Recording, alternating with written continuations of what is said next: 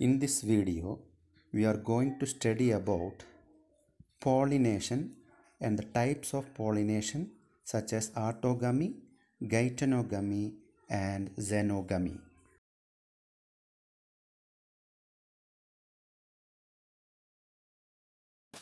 We already studied that pollen grains are present inside the anther of the stamen.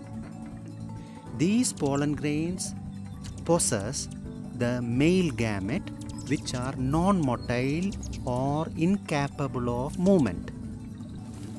These pollen grains need to be taken to the surface of the stigma so that the next activity of fertilization can be facilitated.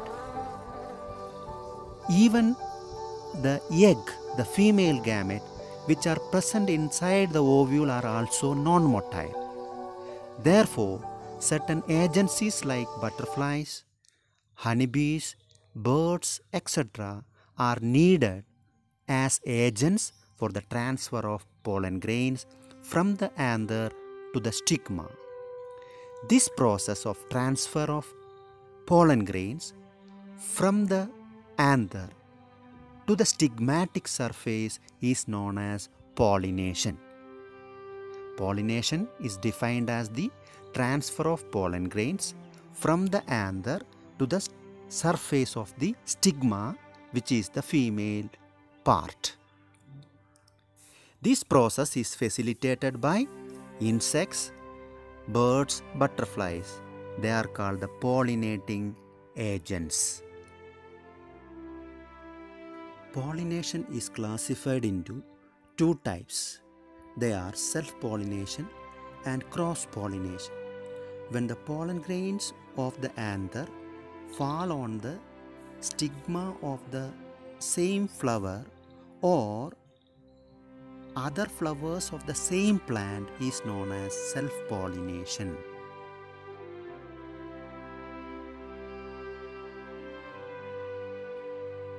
Self-pollination is further divided into two types such as autogamy and geitonogamy.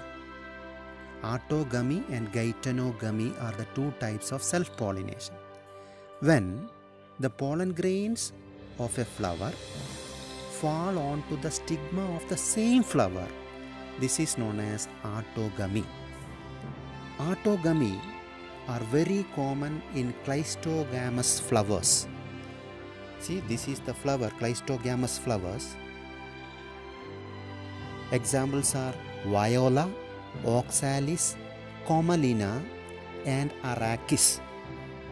What are cleistogamous flowers? The flowers in which the anthers and stigma lie close to each other and which do not open or expose are called cleistogamous flowers. Therefore, here the pollination will be always autogamous. Cleistogamous flowers produce their seeds even in the absence of pollinators. Flowers with the exposed or open anthers and stigma are called chasmogamous flowers.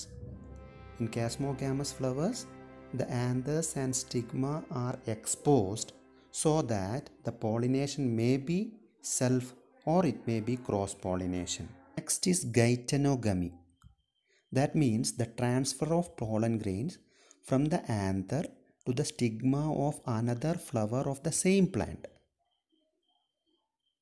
It is similar to autogamy but only difference is that the pollen grains of a flower is transferred to the stigma of another flower of the same plant.